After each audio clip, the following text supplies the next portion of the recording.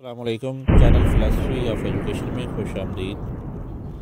आज की हमारी वीडियो इंग्लिश वोकाबलरी के हवाले से है।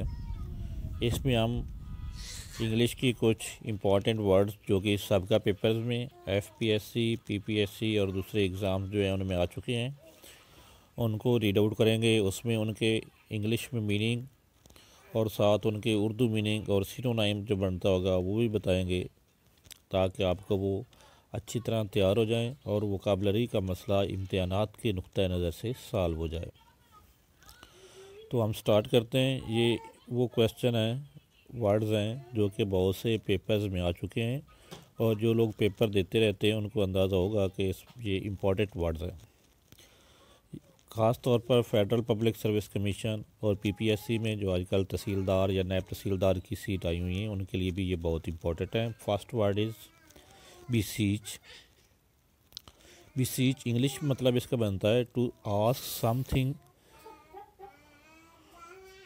in an anxious way to beg for something और इसका उर्दू उर्दू मीनिंग बनता है दरख्वास्त करना। बीसीच मतलब दरख्वास्त करना। Second question is we choose highly skilled person के लिए ये लफ्ज़ बोला जाता है।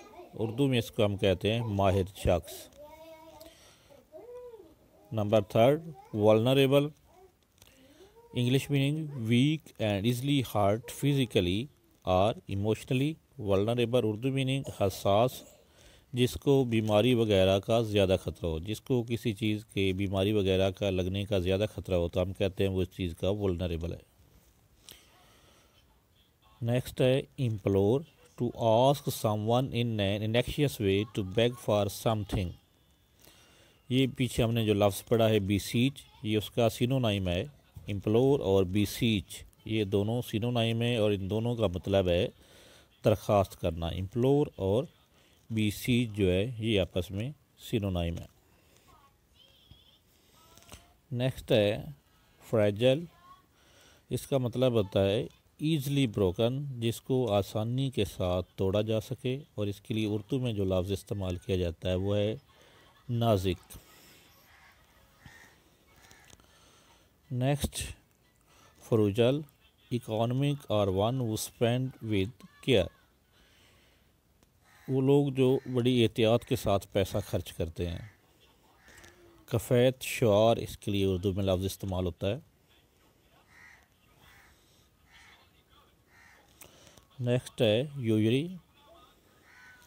हाई इंटरेस्ट रेट बहुत ज़्यादा शरा सूद उसके लिए ये वर्ड यूज़ होता है। Parsimony extremely unwilling to spend money वो शख्स जो पैसा लगाना गुनाह समझता हो। कंजूस शख्स।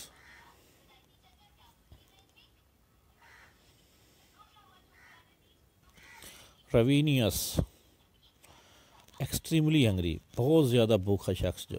उसके लिए ये बोला जाता है लफ्ज़, रेवीनियस बहुत ज़्यादा भूख। Extremely hungry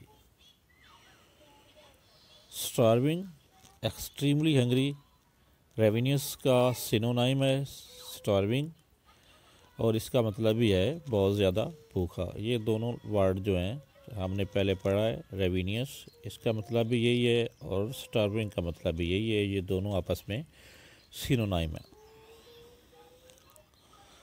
नेक्स्ट है cacophony a mixture of loud and pleasant sounds cacophony Urdu meaning शोर या बदमज़ा आवाज़ें, शोर शराबा या नाखुशगवार आवाज़ें जो होती हैं, उनके लिए ये वर्ड यूज़ होता है।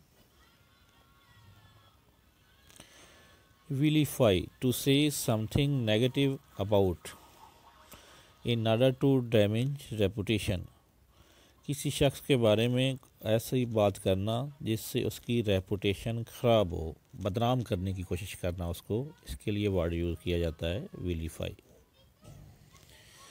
next adumbrate outline a brief overview adumbrate का मतलब होता है आउटलाइन या आ ब्रीफ ओवरव्यू इसको उर्दू में इसके लिए हम जो वर्ड यूज़ कर सकते हैं वो है मुख्तसर जायज़ा.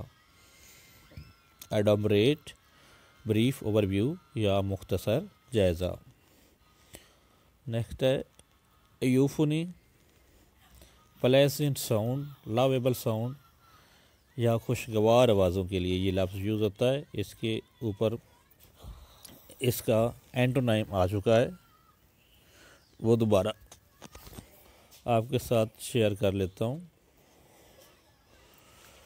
कैकोफनी ये है बदमज़ा आवाज़ें और यूफनी है खुशगवार आवाज़ें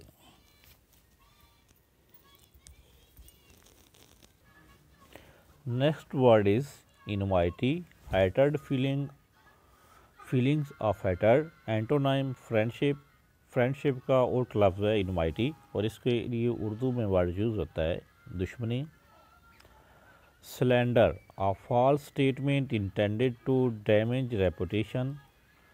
झूठा इल्ज़ाम लगाना इसके लिए वर्ड यूज़ होगा malign to say something negative about someone in order to damage reputation किसी शख्स के ख़िलाफ़ कोई बात करना, उसकी रेप्यूट को ख़राब करने के लिए तो इसके लिए जो लफ्ज़ यूज़ होता है, वो है मेलाइन और इसका सिनोनाइम हम पहले पढ़ चुके हैं। विलीफाई इसका सिनोनाइम है। उर्दू में लफ्ज़ हम इस्तेमाल करते हैं बदनाम करना।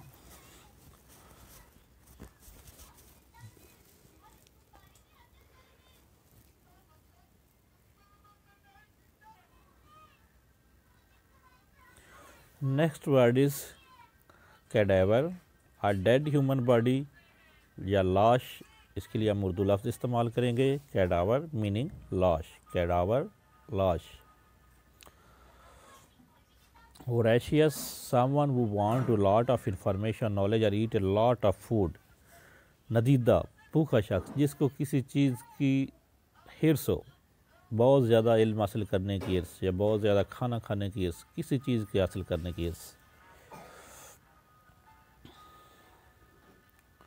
कॉर्प्स डेड ह्यूमन बॉडी ये इसका सिनोनाइम भी पहले हम पढ़ चुके हैं तो इसका सिनोनाइम हमने पढ़ा है कैडावर लाश और कॉर्प्स मतलब भी लाश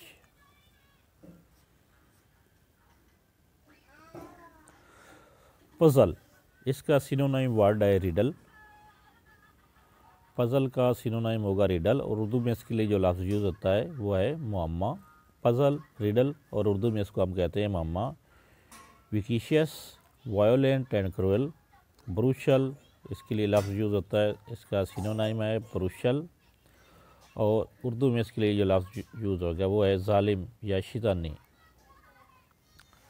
venerate a lot of respect for someone especially holy मतलब बहुत ज़्यादा अकीदत रखना किसी शख्स के साथ, बहुत ज़्यादा अकीदत होना, उसके लिए लफ्ज़ यूज़ होगा वेनीरेट इसका मतलब है बहुत ज़्यादा अकीदत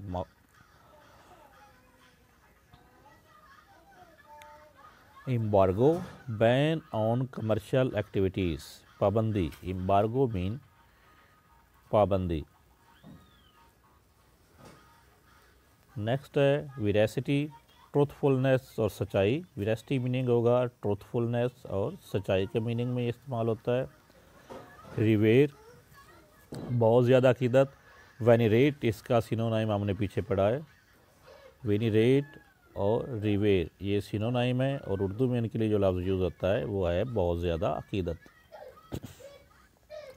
Sedulity carefulness in work pouring efforts in work synonym है डिलीजेंस डिलीजेंस और शेड्यूलिटी सिनोनाइम है और उर्दू में इसके लिए लफ्ज़ इस्तेमाल होगा, एहतियात के साथ कोई काम करना। लार्जेस्ट सखी जनरस इन गिविंग बनी और उर्दू में इसका वर्ड होगा सखी डिसावाओ डिनाए, इनकार करना cupidity strong desire for more wealth, property, money, हिर्स या लालच के मैनों में इस्तेमाल होगा, ये लफ्ज़ भी। ग्रीड के मैनों में इस्तेमाल होगा। क्यूपेडिटी मीन ग्रीड या लालच।